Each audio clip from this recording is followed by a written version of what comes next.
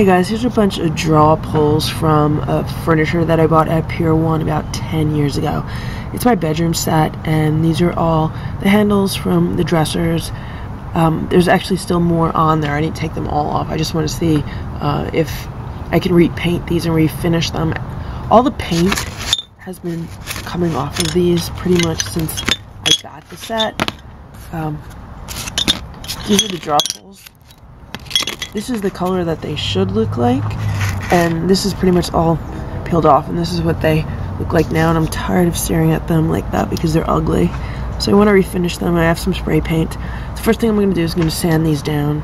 See how the metal has gotten weird on this one? Like this one it's even like cracked. And the metal itself has gotten flaky. I don't know what kind of metal this is. It's horrible. They shouldn't have used it Okay, so I got them all cleaned off except for that one, and that one is really, really strange, so I'm gonna leave it and see what happens. So I'm using this Rust-Oleum metallic.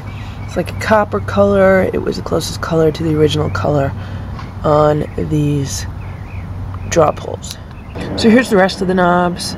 Uh, four of these are from an armoire, one's from a night table, and I'm thinking that the metal uh, that the paint is coming off of is like a pewter. And I'm sure probably some kind of lead in there. I wouldn't be surprised. Here's what the other ones look like. Uh, they're on their second coat of paint. I probably should have primed them first, um, but I didn't. So they are what they are. See how that one is not smooth? This one's nice and smooth. It's the underlying metal underneath that's kind of kind of weird. So they're a lot better than they were. Let's hope this paint stays on. These are all the finished draw pulls.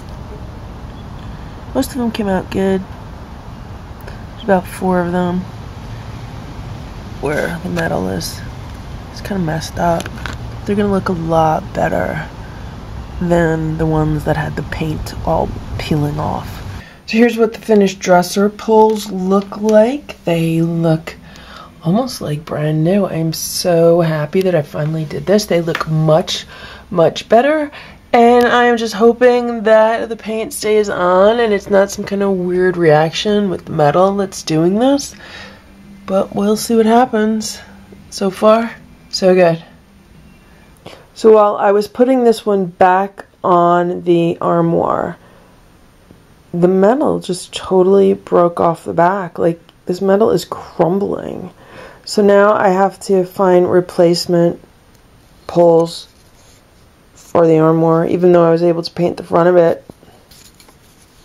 The back's gone, it's just not holding the screws in.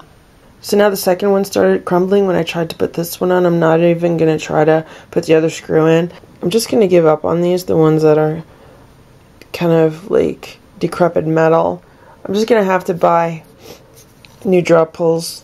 These are one and a quarter inches uh, between the screws. It sucks.